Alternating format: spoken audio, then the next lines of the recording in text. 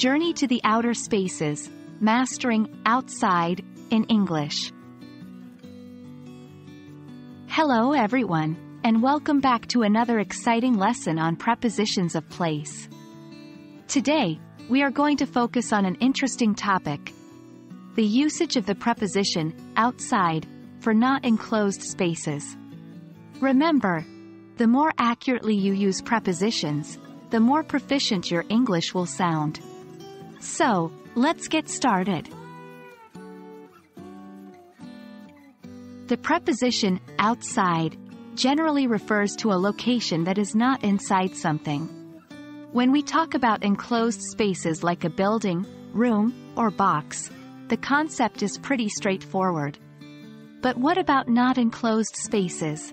How do we use outside, then? Well, we can still use outside to refer to areas not confined within a boundary or limit. Let's dive deeper into this. When we say not enclosed spaces, we mean areas that do not have clear physical boundaries, like a city, country, or a specific zone. You might wonder, how can something be outside these areas if there's no boundary to step out of? That's where the beauty of language comes in. In English, when we use outside for these broader, not enclosed spaces, we are referring to being beyond the scope, range, or domain of these areas.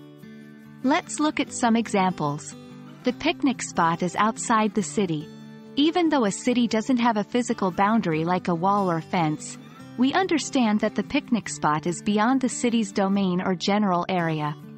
The company has branches outside the country. Again, this doesn't mean the branches are floating in the ocean. It just means the branches are located in different countries, beyond the scope of the original country. To solidify your understanding, let's practice with some more examples. When you hear each sentence, try to visualize what outside is referring to.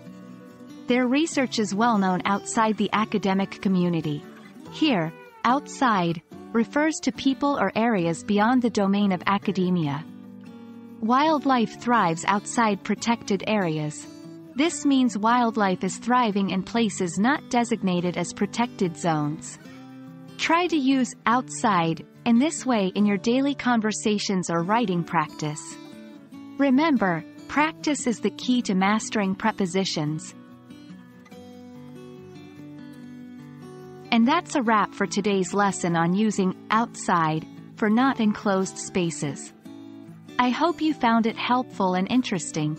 Using prepositions accurately can be a challenge, but with practice and patience, you'll surely master them. Until next time, keep practicing and stay curious about the English language.